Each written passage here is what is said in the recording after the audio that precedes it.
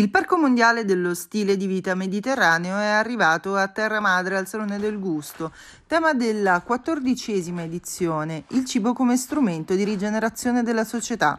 Alla manifestazione hanno preso parte 3.000 delegati di 150 paesi.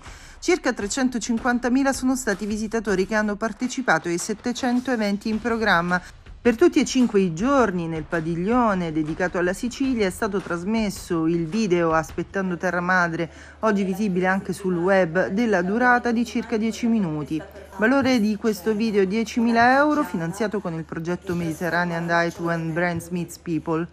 L'obiettivo della partecipazione del Comune Caltanissetta al Salone Terra Madre di Torino era proprio quello di promuovere a livello internazionale il territorio della Sicilia, della Sicilia centrale, del Nisseno, della nostra città eh, e soprattutto lanciare la grande iniziativa del primo parco mondiale dello stile di vita mediterraneo. Obiettivi pienamente raggiunti attraverso le giornate che si sono susseguite al Salone del Gusto presentazione del parco che è stata molto partecipata eh, soprattutto dai presidi siciliani Slow Food ehm, ehm, alla presenza dei vertici nazionali di Terra Madre. Ehm, infine una parentesi è stata dedicata anche all'Università di Pollenzo, l'Università di Slow Food eh, che prepara classi di ragazzi provenienti da tutto il mondo eh, sulla gastronomia. Così dal 22 al 26 settembre al Parco Doria di Torino sono arrivate le storie di chi ha scelto di restare per generare sviluppo, il racconto del territorio e dei sapori, tra tutti il torrone nisseno